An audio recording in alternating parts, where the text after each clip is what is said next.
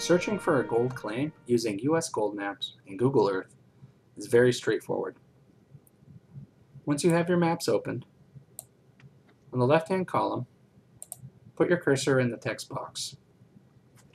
Simply type the name of the claim you'd like to search. In this case, I'm typing Golden.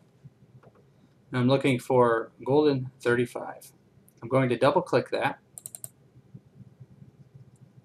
I'll automatically be taken to the claim location.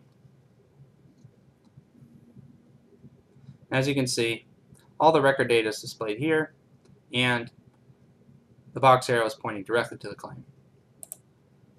So that's how simple it is to search for a claim using US Gold Maps and Google Earth.